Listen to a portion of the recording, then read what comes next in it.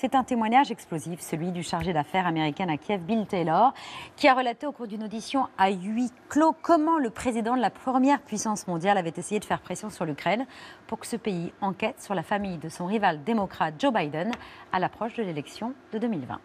We begin with what the Democrats tonight are calling the most damaging testimony yet in the impeachment inquiries. The most damning testimony so far against the President of the United States. Explosive testimony from Trump's top diplomat in Ukraine, Bill Taylor, behind closed doors for 10 hours. That man showed up before Congress today with a 15 page opening statement. And if you read just his 15 page prepared opening statement, you know that Trump offered a quid pro quo. De quoi conforter les élus démocrates dans leur volonté de lancer une procédure de destitution du 45e président des États-Unis. Corentin Sella est historien spécialiste de l'Amérique. Il est ce soir notre invité.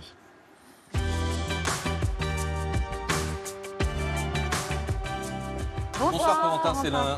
Étape décisive, témoignage crucial pour la mise en accusation du président avec la preuve ou l'accusation très solide. Vous venez d'entendre ce mot dans la bouche de la présentatrice à l'instant d'un quid pro quo. Alors on va d'abord expliquer cette locution latine euh, qui ne veut pas dire malentendu comme en français. Euh, Corentin Célin en anglais, un quid pro quo, c'est quoi une contrepartie? Oui, c'est une contrepartie. En l'occurrence, ça désigne une forme de chantage, c'est-à-dire euh, je te donne quelque chose en échange d'autre chose. Et c'est exactement ce qui s'est passé, puisque euh, d'après euh, l'ambassadeur par intérim en Ukraine, qui est toujours aujourd'hui William Taylor, Donald Trump aurait exigé que l'Ukraine annonce publiquement qu'elle allait faire des enquêtes sur Biden et sur l'élection présidentielle américaine 2016 en échange de l'assistance militaire de 391 millions de dollars que les États-Unis donnent à l'Ukraine. Un chantage, vous l'avez dit, on va y revenir après avoir entendu Trump et son avocat Giuliani ces derniers jours. There was no quid pro quo. There was never any quid pro quo. There's no quid pro quo. No quid pro quo. No quid pro quo. No quid pro quo. There is no pro quo là, il en perd son latin euh, pour réfuter ce quid pro quo qui a consisté donc à dire au président ukrainien je rétablis votre aide militaire si vous lancez une enquête contre la famille euh, Biden.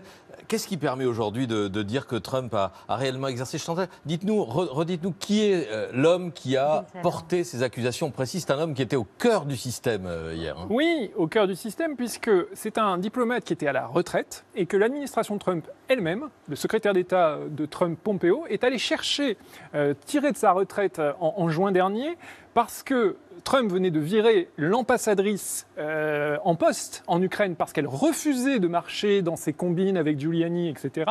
Et on avait besoin d'un intérimaire. Et on est allé chercher euh, ce William Taylor. Qui avait déjà été en poste en Ukraine. Voilà, qui avait déjà été ambassadeur en Ukraine euh, il y a 10 ans, 10-15 ans, au moment de l'administration Bush. Et donc, lui est parti, et il l'explique très bien dans sa déclaration, en se disant euh, moi, j'y vais vers, chez un allié pour leur donner l'aide militaire pour combattre les Russes euh, euh, qui, les ont, qui les ont attaqués en Crimée, etc. Et puis il arrive en Ukraine, et là, il s'aperçoit qu'il commande, lui, la diplomatie officielle, et qu'à côté, il y a une diplomatie privée mise en place par Trump avec son avocat privé, Giuliani. Trump exigeait aussi, a-t-il dit, que le président ukrainien aille sur CNN pour annoncer euh, l'ouverture d'une enquête. Euh, on a donc des diplomates qui témoignent sous serment à visage découvert, qui portent des accusations gravissimes contre le président. Plusieurs, pas seulement lui, mais lui c'est évidemment le plus important. Euh, il y a une révolte dans la haute administration contre Trump? Alors, dans le cas de Taylor, il y a effectivement une révolte et surtout, il l'a dit hier, il a eu le sentiment que des choses illégales, pas normal se passer et il remplit son devoir civique. Il faut quand même préciser que hier, il, était, euh, il avait, lui, été interdit par le département d'État de témoigner, c'est-à-dire que l'administration Trump avait essayé de bloquer son témoignage et euh, il a répondu à une assignation à comparaître qui le forçait. Et, il est venu en expliquant qu'il avait vu des choses, il avait vécu des choses qui ne lui avaient pas semblé normales, il les a signalées à l'époque. Il a envoyé en particulier, on en reparlera à mon avis beaucoup, un câble au, secrétaire d'État, au ministre des Affaires étrangères Pompeo, en lui disant il ne faut pas faire ça. Il ne faut pas retenir l'assistance militaire à, l'Ukraine pour des raisons politiques euh, intérieures américaines. Et aujourd'hui, il l'a juste répété au Congrès euh, sous serment. Et le Congrès, la Chambre des représentants, à majorité euh, démocrate, qui continue euh, d'accueillir des témoignages jour après jour avec des gens qui désobéissent en quelque sorte à leur administration et qui viennent porter témoignage. Alors il y a une heure de ça, un peu plus d'une heure, un incident rarissime. Il y a une, c'est une quinzaine d'élus républicains pro-Trump qui tentent, qui rentrent dans la salle, qui pénètrent de force pour tenter d'interrompre l'audition en cours. hein. Oui, absolument. Ils y sont arrivés d'ailleurs. L'audition a, été interrompue et ça nous montre quand même la, radicalisation des, sentiments de part et d'autre. Parce que ces euh, représentants républicains, ils l'ont dit avant, parce qu'ils ont fait une sorte de petit point presse avant leur, coup de force symbolique. Ils ont dit le président Trump n'est pas respecté, on ne respecte pas ses droits. Pourquoi tenez-vous ces auditions euh, à huis clos? Alors qu'évidemment, on se doute pourquoi elles sont à huis clos euh, pour des raisons évidentes de, de sécurité, de confidentialité, pour les propos qui seront tenus. Et en plus, ces représentants républicains sont d'assez mauvaise foi, puisqu'ils disaient euh, Nous ne sommes pas représentés. Non, eux ne sont pas représentés, mais il y a des républicains, évidemment, parmi les commissions qui auditionnent euh, pour l'impeachment. Et donc, on voit que les sentiments sont en train de s'exacerber.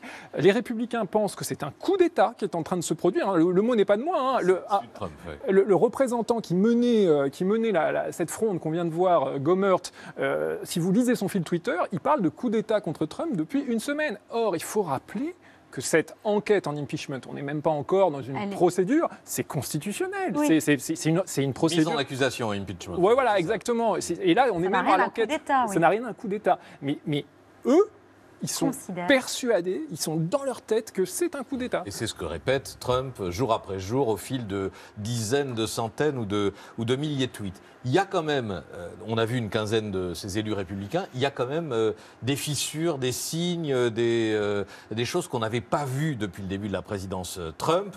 Évidemment, des critiques, on en a parlé ici sur le retrait américain de Syrie, et des prises de distance remarquées chez quelques ténors. Je vais vous présenter Mitch McConnell, classique euh, républicain, il est l'homme fort du Sénat, il a tout avalé, tout justifié, euh, même le plus fou, le plus baroque depuis le début de la présidence Trump, mais là, ça passe plus pour la Syrie.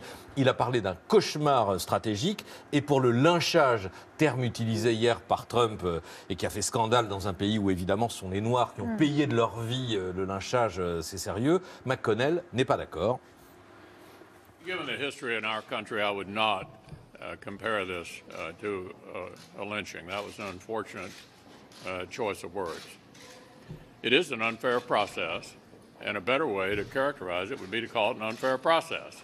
Formulation regrettable, dit McConnell. Et puis, comme Trump s'est prévalu de McConnell, le même sur son coup de fil au président ukrainien dont on vient de parler, les journalistes ont posé la question. I read Mitch McConnell's statement yesterday, and he read my phone call. And as you know, he put out a statement that said that was the most innocent phone call he's read. And I spoke to him about it too. We've not had any conversations on that subject. So he was lying about that? You'll have to ask him. I, I don't recall any conversations with the president about that phone call. Bon, euh, il n'a l'air de rien, c'est- enfin, pardon, mais euh, c'est un homme très important dans le dispositif républicain et dans le dispositif pro- pro-Trump. Qu'est-ce qui se passe avec euh, les républicains? Ouais, alors c'est d'autant plus important que pour, pour la petite histoire, il ne faut pas oublier que sa femme, Hélène Chao, est ministre euh, du gouvernement Trump, hein, ministre des Transports si je me trompe. Donc c'est vraiment quelqu'un qui est au cœur du système, puisque chef de la majorité au Sénat, c'est lui qui verrouille complètement euh, la majorité républicaine au Sénat en faveur de Trump. et, et, pardon, et qui aura à décider d'un éventuel procès après Oui. la mise en accusation, l'impeachment des, des démocrates euh, chez les représentants. Exactement. Alors, je crois que, sans, sans, évidemment euh, grossir, hein, il restera fidèle, a, y a- il y a deux choses.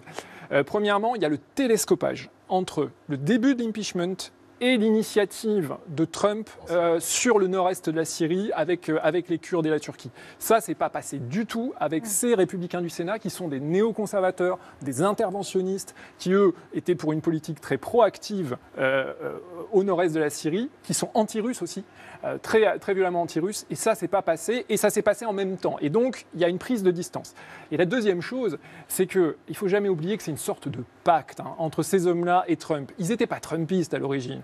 Simplement, c'était un pacte faustien. Tu nous ramènes au pouvoir, tu nous ramènes à la Maison Blanche, soutient. et en échange, tu nous donnes les baisses d'impôts, tu nous donnes les juges conservateurs à la Cour suprême.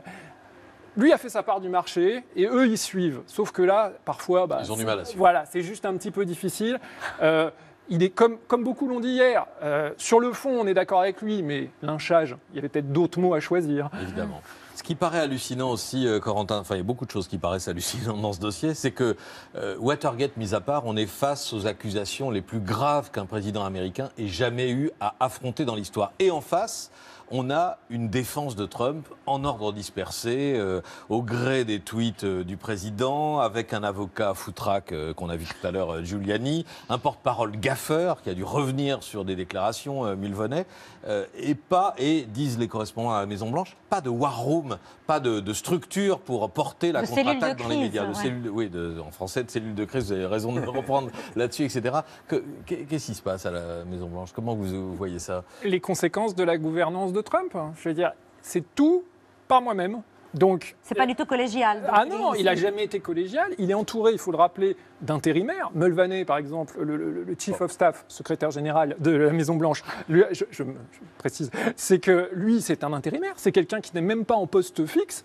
Donc, il est entouré de, de- de- entre guillemets, d'intérimaires, de, de, de lampistes. Il décide de tout, seul, sur des Sans personne. sans personne. S'opposer, se dresser. Et, et lui, il ne faut pas oublier quelque chose. Il ne cesse de le répéter.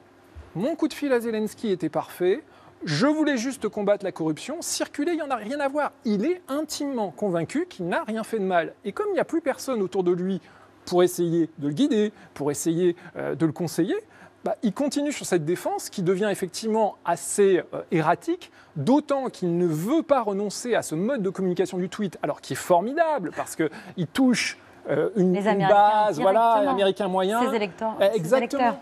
Mais en même temps, ça l'enferme complètement parce qu'il ne voit plus que ses propres partisans et il est en boucle complètement fermé. Fox News, Twitter, et il n'a plus de contact, plus assez en tout cas peut-être avec le réel.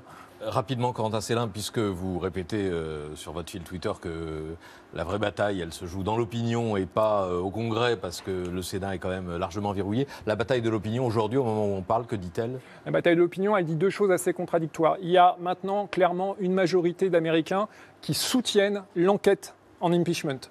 Par contre, si on regarde sur souhaitez-vous la destitution euh, de Donald Trump, là c'est bloc contre bloc. Tous les démocrates s'y sont ralliés. Mais alors les républicains, hier, dans le dernier sondage CNN, il y avait 4% de républicains qui approuvaient une éventuelle destitution de Donald Trump. Ouais. Donc on voit qu'il y a encore beaucoup de chemin à parcourir dans l'opinion.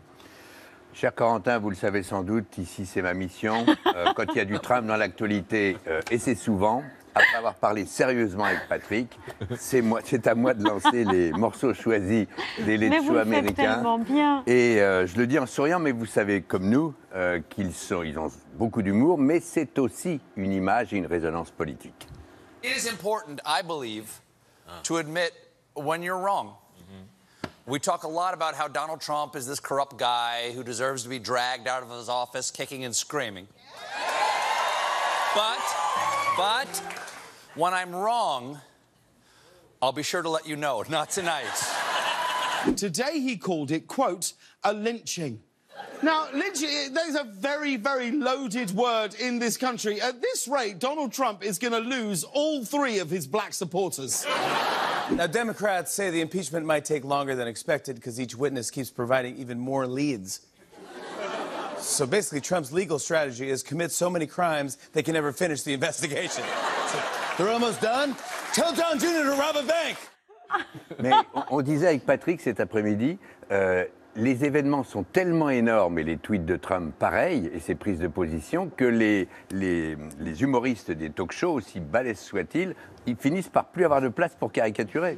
Ça, c'est tout à fait vrai, effectivement. C'est-à-dire qu'il il, il étouffe presque la, caricature et l'humour parce que euh, il absorbe le second degré, parce qu'effectivement, il y a à la fois aussi des fois, euh, ses, ses propres, ses propres phrases sont parfois tellement drôles involontairement et parfois tellement... euh, Gaguesque. ah, oui, gaguesque, que- que- qu'il laisse de moins en moins de place, effectivement, à, à Oh, l'ironie. ils, ils Le- sont encore très inspirés. le, hein. le sommet étant la lettre qu'il a adressée à Erdogan, euh, fais pas l'idiot, Ah ouais. euh, reste Un tranquille, etc. Voilà, alors cette lettre dont il faut bien savoir que beaucoup d'analystes, euh, dont moi en France modestement, mais de- des analystes très prestigieux aux États-Unis, ont, ont tous cru au début un que c'était un canular. Quand, moi, quand je vois ça passer, je me dis, c'est une blague. Le président des États-Unis n'écrirait pas une lettre comme ça.